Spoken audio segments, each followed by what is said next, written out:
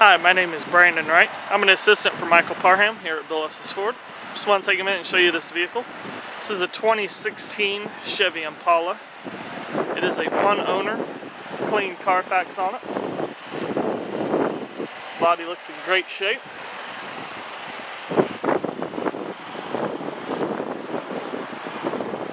This is the LT version.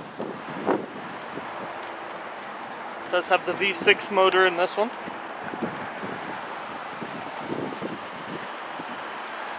Take a second to show you the inside. Inside has a nice black leather to it. 16, almost 17,000 miles on it.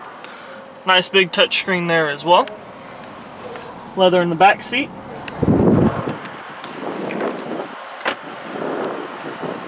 If you have any other questions, feel free to give Mike Parham here a call at 317-852-2231. Thank you.